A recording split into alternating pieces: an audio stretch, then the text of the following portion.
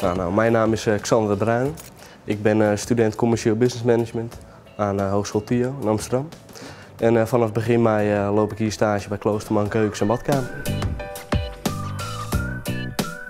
Ja, ik heb het erg naar mijn zin. Het is een familiebedrijf. De sfeer is goed en ik leer veel. Hey. hey. ik heb nog even wat vragen over mijn keuken. Mijn taken zijn eigenlijk heel afwisselend. De ene dag loop ik mee op de verkoop, de andere dag ben ik dingen aan het inboeken. Maar ik analyseer ook de markt. Ja, ik ben ook stagiair allround. En uh, wat daar wel leuk aan is, is dat je alle facetten van het bedrijf kan zien en dat je eigenlijk heel veel kan leren.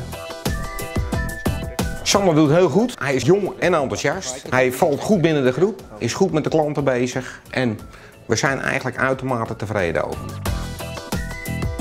Het allerleukste vind ik uh, de verkoop. Gewoon sociaal bezig zijn, zo goed mogelijk proberen te verkopen met de beste marges en je klant natuurlijk tevreden stellen. Nou, wat ik ook erg leuk vind uh, is het managen. Nou, dat leer ik nu van uh, mijn stagebegeleider. En nou, hij is een typisch ondernemer waar ik veel van kan leren. Zeker omdat ik later ook ondernemer wil worden.